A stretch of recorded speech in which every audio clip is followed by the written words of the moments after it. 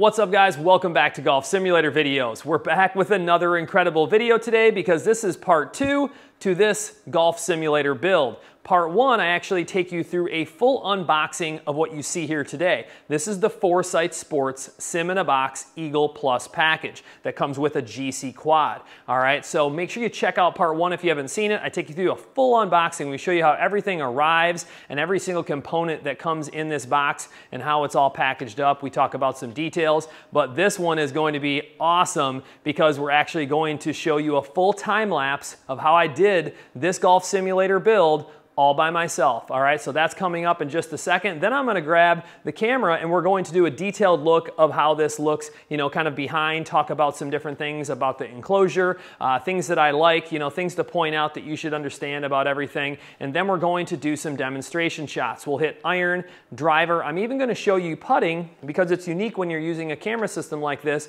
You don't have to worry about a long, smooth, or level roll because it's only reading, you know, a foot or two of that ball rolling. So we're gonna give you all those demonstrations in this video coming up. Now make sure you subscribe to the video, comment below any questions you have. Let me know what you think of this, all right? I love those comments down below. Anything that you can think of, anything I can answer, make sure you put that in the comments. And also, if you're looking to build your own home golf simulator, make sure you shoot me an email. Doesn't matter what components you're looking for, an entire package, even a commercial golf simulator, maybe just a launch monitor or a few of the other components, shoot me an email. I wanna make sure you're getting the best information and pricing. I'll put that in the top of the comments and also in the description. All right, but let's go ahead and get started.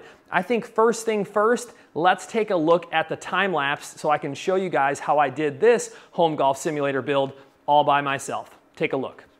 All right guys, so the first thing I did was I grabbed all of the enclosure pieces and I laid them out appropriately. They're all color coded, so it makes it nice. You just match up the color dots together and you're able to use an Allen wrench and just secure them with some bolts that are included. Got my ladder, obviously extended those pieces up top. Might be easier for two people, but threw the turf down, got that mesh screen up in the back and then put the real screen up and wrapped it in all of the necessary padding and carpet and finishes assembled the Fiberbilt mat, and then got that computer card together, hooked up the computer and the projector, and then pretty much after that, I was hitting my first practice shot and everything was good to go. All right guys, welcome back. I really hope you enjoyed that time lapse of how I did this golf simulator build all by myself, just one person. So now let's take a closer look at all of the components and quality and details of the Foresight Sports Sim in a Box Eagle Plus package. Let's start off right over here at the included computer cart. I do have uh, an, that HP desktop gaming computer down at the bottom, even an included surge protector. We talked about that in our unboxing video, but look how simple the wiring is. You have a power cable, an HDMI cable, and I have the USB cable running to the quad. That's it. So it's just so simple of a setup. And then you have that Iki projector we were talking about that, you know, right now I have these T5 high bay lights on in my garage and they're super bright. I wanted you know, to have those on for the camera quality, but look how nice of an image we're, we're still getting out of this projector. Um, you know, it's, it's a quality image, nice and sharp, and very bright. Uh, we obviously, we'll show you some images with it off as well, but I wanted to show you guys that it's plenty acceptable to have all my lights on and it still puts out a very good image. So uh, other than that, up here on the computer cart, obviously the remote to the projector, and then you also have an included wireless keyboard, which is nice because it has an included mouse pad, so you can control everything uh, right from here. And that gaming computer with that 1660 uh, Ti Super is doing great because it's only running one screen at 16 by 10 resolution. All right, so um, it's doing great. You'll see how smooth the images and everything are here in just a minute. So here's that Fiberbilt hitting mat. And maybe we'll do a separate review just on this, you know, kind of showing you guys the details. But it's cool. It takes a, a real tee if you want to use it. Um, I tend to use kind of the plastic or, you know, form tees, but um, it can take a real tee if you want that. And then you have your GCQuad just running the power cable and the USB. All right, does come with, uh, with club data with this package.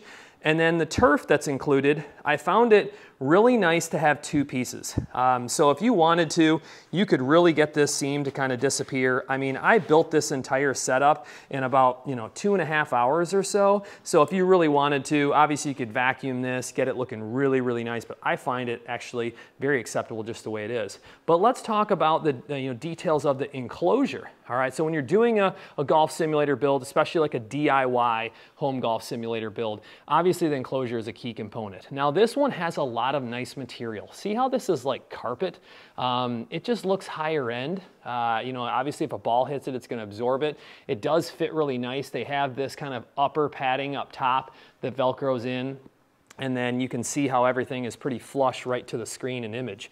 I didn't spend a ton of time uh, doing the keystone correction and everything on the projector, and for where I have it set off to the side, I have it, you know, very acceptable in my opinion. I mean, I have no issues with the way it looks right now. Um, I will say that the screen material, and I'll see if I can actually get down close, is relatively thin all right? But they do have this kind of, you know, net layer behind it. I'm assuming that this is a relatively affordable replaceable screen, um, but it's not a super thick material. Kind of do a close-up if I can of it, um, if I can get it to focus.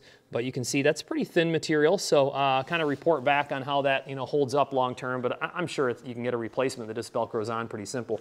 So let's show you the back really quick. First off, the sides, they do have nice finishes. This is like a felt material um, that just Velcros right on. Obviously you could clean that all up. Like I said, I mean, I just got done building this thing um, and it was just over two and a half hours. I didn't want to spend more time uh, doing any cleanup, but look how nice and clean it is. This is that uh, blackout panel that I talked about in the unboxing video that is so important. When you have windows or a ton of light coming in, this stops washout on the screen. And then it also makes it look really nice from behind.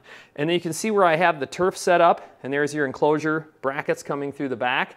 Uh, where I have that turf set up with those two pieces leaves me about a little over 10 feet ball to screen, which I find a very comfortable distance, okay? Um, but let's go ahead and dive right in. We're gonna do some example shots, all right? Driver, iron, putting, all that with multiple software, not just FSX 2020, but also the new FSX Play. Let's have a look. All right, guys, welcome back. Let's show you what this thing is all about. So we're set up for just an eight iron, 160 yard shot. I wanna show you guys, you know, kind of what the bounce back is like from the screen. Um, the mat I find actually, you know, reasonably forgiving, but is gonna give you that true to life. If you chunk it, um, you're not just gonna be able to blow right through it, you know, so it's kind of nice having that balance. I think this Fiberbilt does that. Um, but we'll talk about some other things along the way. All right, so let's just fire off an eight iron really quick so you guys can see what this is like, kind of how the graphics are with the gaming computer and everything along those lines. Oh, I struck that so well. If every shot could just be like that. Just a little left, all right? But a really nice eight iron, good spin on it, nice strike, felt good. Um, that's like a full carry out of it, One, 160. Um, everything about that I like. So good example, you notice the ball kind of rolled back slowly, just kind of stopped at the front of this rubber front of the Fiberbilt. I mean, I think that's perfect. Uh, let's hit one more with an iron and then we'll switch to driver.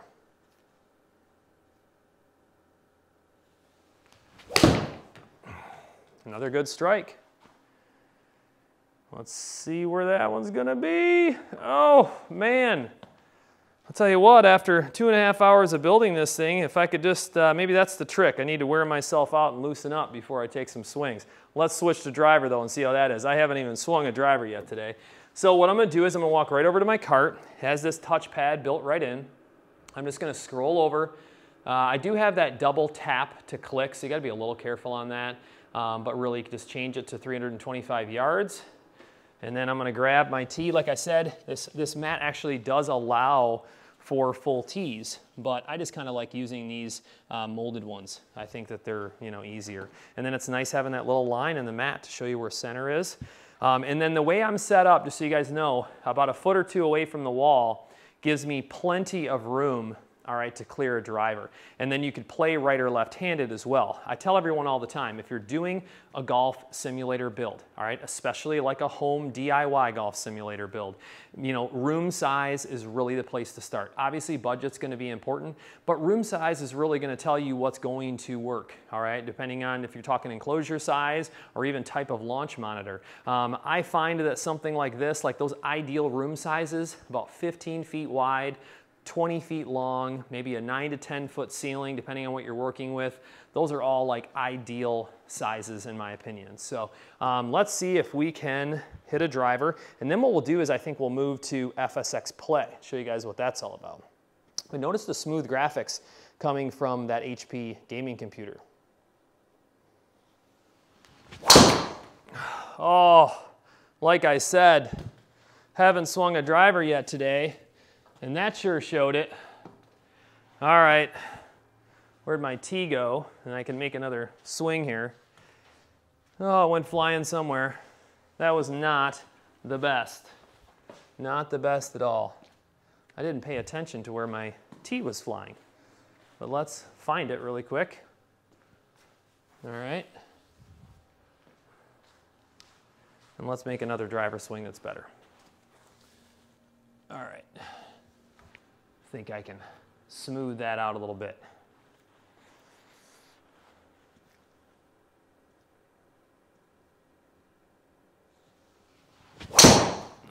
Much better. I don't like the duck hook on the first tee. It's not fun. That was a pretty good strike. I got really good carry out of it. Ball speed was 165. A little spinny because I felt like it was a little bit low on the face. So, um, you know, carried 281. Um, 165 ball speed though, an okay launch angle for considering I hit it a little low off the face. So, but notice that the ball is only coming back, you know, it's pretty slow, honestly. Um, it's not bad at all. I'll hit one more to so you guys have a good idea. And then from there, what we'll do is uh, make sure that that's all clear there. All right, we'll go over to FSX Play.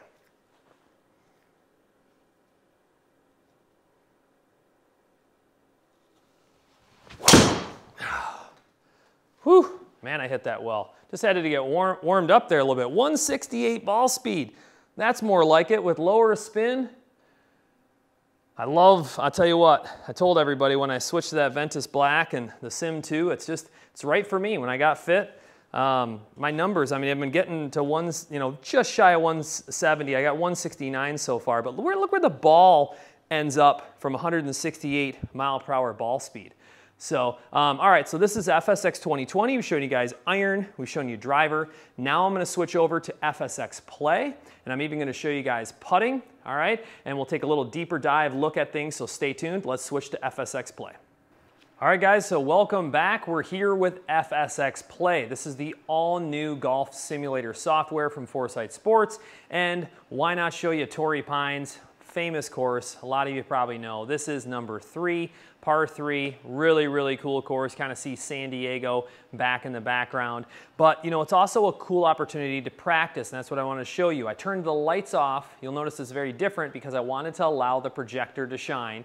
That way you guys can really see what the true image looks like. Most of the time in this setup, what you would do is, is you would just grab kind of a small light just to hang right over top for your hitting area. I don't have one. I mean, we've only been, you know, working on this for under three hours. So um, you just have a nice little light, or you might be comfortable comfortable the way I am. It's actually pretty well lit in here. You probably can't see from the camera, but the projector puts off a lot of light. So it just depends on what you're looking for, but a nice little overhead light is something that, that is great. So this is a cool shot for me to practice. It's 160 yards, but it's 50 feet downhill. That means I probably only need to carry this about 150 uh, yards. So I'm gonna work on kind of like a soft fade with my eight iron, and we'll see what I can do show you guys how that HP gaming PC performs with FSX Play. See the graphics and obviously, you know, the lumens from that projector. It's, uh, it's a nice and sharp image as well. Not too bad. I tried to hit that little fade, but it's gonna probably be a little bit to the right. Yeah, I'm gonna need to almost set up with a, an aim to the left if I'm gonna work it like that, but that was the shot. I mean, that's probably pin high. All right, so let's work this thing a little more left to right. Yeah, so when you're using that 1920 uh, by 1200 image, um, you're getting, you know, technically a higher resolution than 1080p. Um, and you can see how crisp that is. Thought it'd be a perfect opportunity to shut the lights off. And then we'll, what we'll do is we'll kick the lights back on and I'll show you guys putting before we wrap things up here.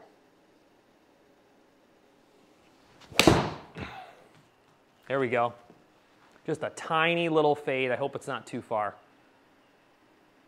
Oh, just a little too far. But a perfect example. I mean, just a great opportunity to sit out here on a famous course and practice something like that. Um, really, really cool. Now I'm just gonna go ahead and I'm gonna turn the lights on really quick and I'll show you guys putting. I'm gonna even talk about my new putter that I have um, because I've hit a blade forever and I actually have made the switch. So while I switch out to do some putting, I'll talk a little bit about that. So uh, face control has just been a little bit of a challenge for me lately. I've hit a blade putter forever and now I've switched to this Cobra mallet with the SIK face and I'll be honest with you, I really like it. I think that I'm uh, kind of improving my putting little by little. Obviously, you know, practice is what really is going to tie things together. Um, but I'm very, very happy so far. So kind of switching things up. So let's go out to the Paris range really quick, and I'll show you how I can just practice, you know, simple like 15 foot putts with this. So I'll show you guys this putter really quick. There it is. Got the SIK face on it. All right, pretty wild looking putter. Has the SuperStroke grip. But anyways, what you want to do is, is just go right up here to more. And I have coverage, guys, for both these pieces of software. If you want to see either of them, just you know jump in the channel and look for FSX Play or look for FSX 2020 and I go through a lot of them, on course play, everything. And we'll do some more videos with the Foresight Sports Sim in a Box as well. So stay tuned for those as we do some other coverage. But let's go ahead and just set up. This is a 16 foot 4 inch putt. And you know, it's really nice. I'm dead center. See if I can actually work that face control like I want to. This is really good practice. And I wanted to show you guys, I pulled that putt. I knew it. Um, you can just see it could take off to the left. Excuse me. Um, what's so amazing is, is that you don't have to worry about having like that perfectly level, smooth, you know, situation because this camera system is reading it in probably a little over a foot window. So, uh, you know, you're still getting very precise reads. All right, I need to set up better here because I, I just could feel that I, I pulled that right away. That was a pretty good putt there. There it is. I like those cup physics, how the ball goes in the hole like that, but just a perfect opportunity to practice putting. And you can see when it comes off the mat, it actually rolls really nice on this turf. So you're gonna see where the ball is. I could see that first one was to the left, and I could see that the next one was tracking really well. So good example of putting. I mean, we did irons, we did driver. I showed you guys FSX Play in 2020, and there's even more software that I'll probably go over with the Foresight Sports Sim in a Box Eagle Plus package that we've done a full review of today. So like I said, guys, another amazing DIY home golf simulator build. I can't wait to hear what everybody has to say. This has been fun. I mean, I didn't think that it was going to be as, quite as easy as it was since this is a, you know, a pretty large enclosure and a tall enclosure. But I, like I said, I got it done in about two and a half hours.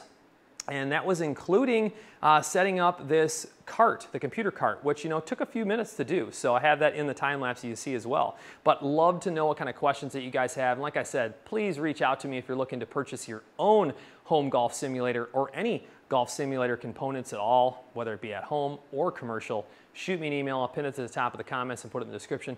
As always, I really appreciate you guys watching. Stay tuned for a lot more.